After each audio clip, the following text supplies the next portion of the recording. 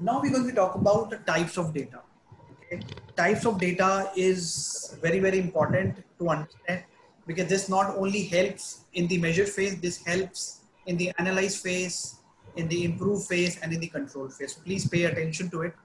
Uh, this is very, very important. There are two types of data generally that we talk about. One is a continuous data, okay, and another is a discrete data. Okay, so these are two terms: continuous data and discrete data that we have uh, in Six Sigma. So we will talk about it. What is continuous data? Continuous data is a sort of data which can be broken down into infinitely different different smaller unit, and it still makes sense. Okay, the data which can be broken down into different different units. So there are a few examples that we can see here. You can see we have time. So if I if I have time here, like if I say uh, five hours, I can convert five hours into minutes. I can convert minutes into seconds. I can convert seconds into milliseconds. So time I can further break. Price I can break because we have different currencies. We can convert from rupees to paisa. Okay height you know height can be from feet to inches to meters to millimeters. Weight we can do it also. Temperature distance. Okay.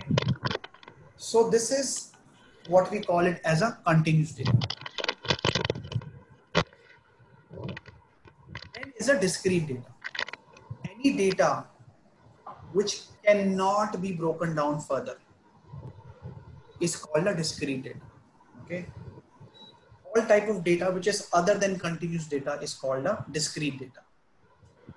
But there are many types of uh, discrete data that we have. Uh, likewise, in continuous, we only have one type which is continuous, which can be broken down further. But discrete is something which cannot be broken down further. But there are uh, various types of discrete data that we should understand. The first type of discrete data is called a binomial data, which is sort of a binary data, which is either yes or no. Okay, maybe true, false, pass, fail, defect, pass. Okay. The second type of discrete data is called count, which is number of people appeared for the exam, number of defects, number of people attended the training, number of people cleared the training. So it's in numbers. Then we have nominal data data which have names or labeled, okay, which is like uh, department A, department B, department C, um, manager one, manager two, manager three, north, south, east. So we are, we are comparing different, different uh, business units or different, different, uh, we are dividing the data into different, different units, okay. Then we have ordinal. The difference between nominal and ordinal is then ordin ordinal is when the when the data is arranged in some order or sequence. Okay. Example could be the customer satisfaction score like uh, excellent very good good. So you see it's an order. Okay. Or very poor poor good very good excellent. It's in an order. Okay. So that's ordinal. Strongly agree disagree strongly disagree Okay. So the difference between nominal and ordinal is nominal could be in any sort of way like department. If I'm comparing department A, department C, department C, it could be in any order. But ordinal is when it's arranged in a certain sequence. So that's it's a difference between nominal data and ordinal data. So this is also discrete. Okay. And last but not least, which is part of discrete data is the percentage data uh, like 55%, 65%, 65.3%. So if you notice whether it's a binomial, whether it's count, whether it's nominal, whether it's ordinal, whether it's percentage, all these cannot be broken further. This the last sort of unit that you have. You will not be able to convert. You will not be able to convert uh, uh, you cannot be breaking the binomial data because you will have either true or false. You cannot break number of uh, count. You cannot say half people or one fourth people. Okay. Similarly, nominal and ordinal you can't break, and percentage also you can't break. So these are two important types of data that we should clearly know that what is discrete and what is continuous. So can I ask uh, people to share certain example of continuous data? Any any example, any real life example in your respective processes or in your in your workplace? Uh, Simar, just a just a question here.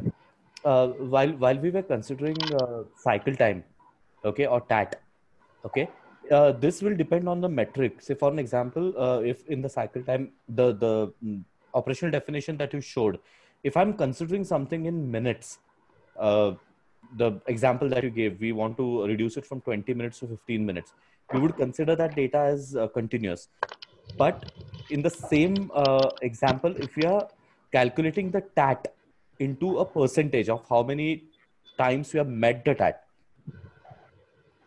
of, of say uh, 15 minutes, that would go into discrete. Am I correct? Can you can you please repeat the second one which you said? I got yeah. the first one. So so say the same TAT.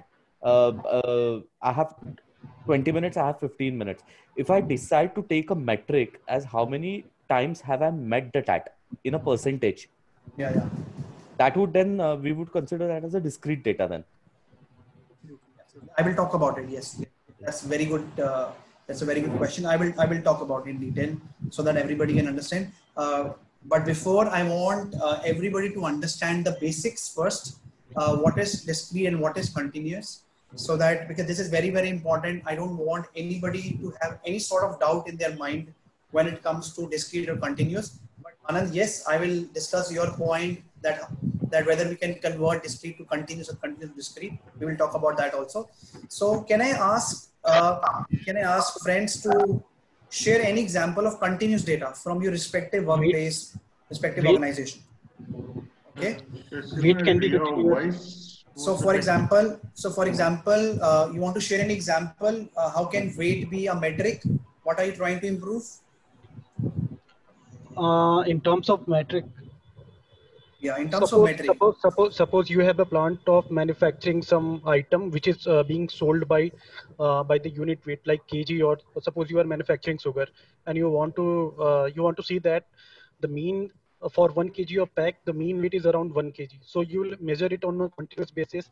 So whether it is around the mean or you are providing less uh, weight to the customer or more weight to the customer. If it is more than 1 kg, then it is will be uh, a loss for you. And if you are selling less, then the customer may know this and avoid your product. So weight is being uh, used in this process.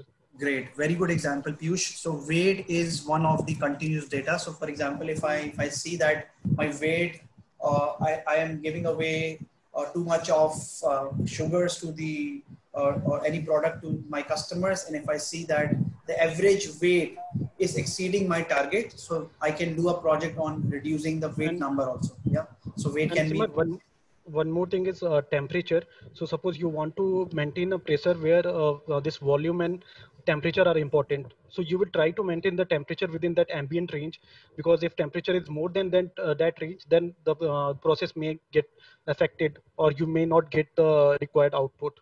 So temperature can also be a, a continuous data.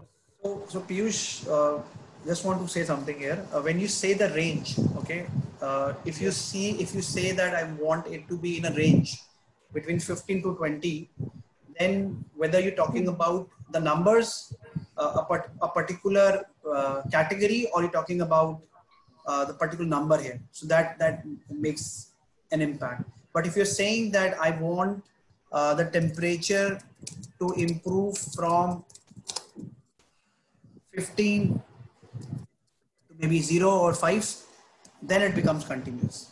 Yes. But if you if you yeah okay? So i want